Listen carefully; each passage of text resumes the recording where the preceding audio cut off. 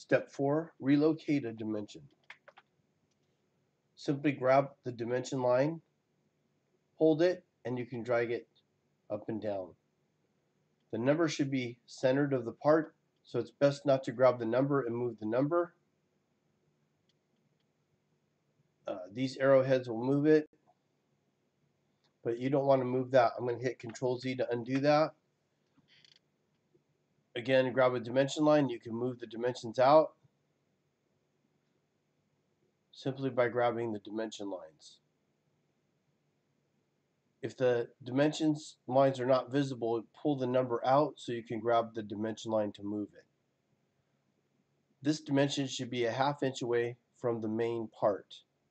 So this line to this dimension line should be a half inch. Or the zero should be no closer than 3 eighths of an inch to the part. To locate that, you can go to the tab called View, go to the display grid. I happen to have already set that at a half inch. Okay, so these are quarter inch increments. I'm going to come down a half inch and let go.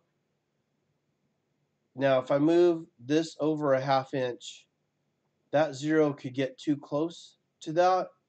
So you might want to move it over to where the zero is approximately a half inch, maybe not quite.